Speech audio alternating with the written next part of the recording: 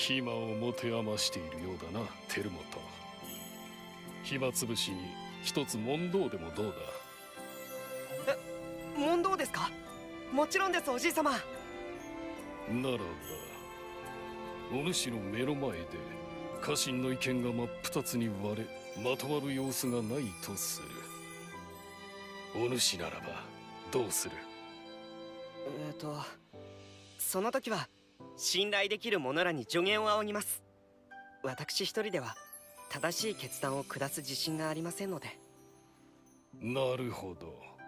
だがその助言さえも割れていたらどうする？最後はお主自身で決めるしかあるまい。ならば皆が納得できるような答えを私から示せるよう努めるしかないかと。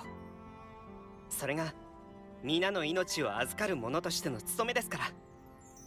ですが私はまだまだ未熟。もっと多くを学ばなくては。お主は生真面目な良い子だなテルモトだがその人の良さがあだとならぬよう用心せよ。